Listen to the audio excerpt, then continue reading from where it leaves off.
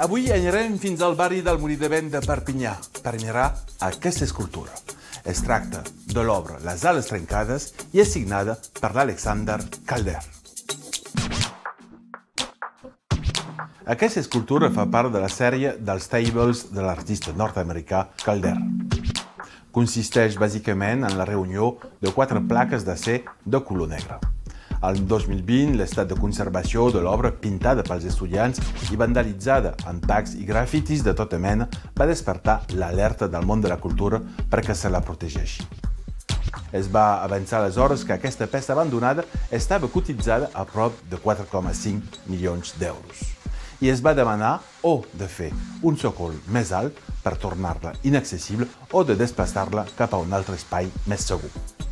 La primera opció, de fer més alt el súcul, seria contradictòria amb el sentit mateix de l'obra, que ensenya l'estabelliment de l'avió de Saint-Exupéry.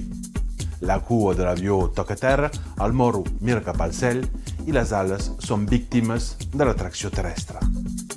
La segona opció, que seria de despassar la peça, resulta també impossible, ja que es va finançar la seva compra amb l'1% artístic i abat el pressupost de construcció del Col·legi Saint-Exupéry.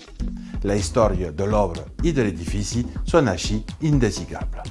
Ara, les institucions no tenen més remei que de trobar una nova solució per salvar in situ l'escultura Les ales trencades, que està esdevenint, al llarg dels anys, un autèntic trencaclosques artístic i patrimonial.